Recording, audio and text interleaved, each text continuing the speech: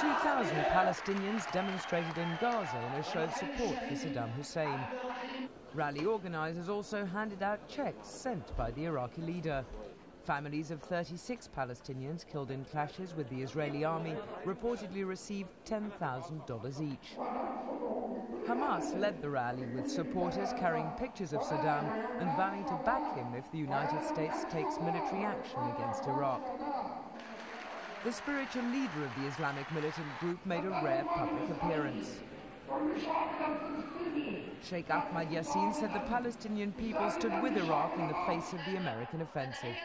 Yassin also condemned US support for Israel, where Hamas has been responsible for dozens of suicide bombings.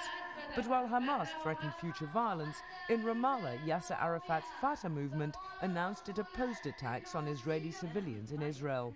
However, in a written statement, Fatah left open the possibility of continued attacks on Israelis in the West Bank and Gaza Strip, claiming it would continue to resist Israel's occupation of the West Bank and Gaza.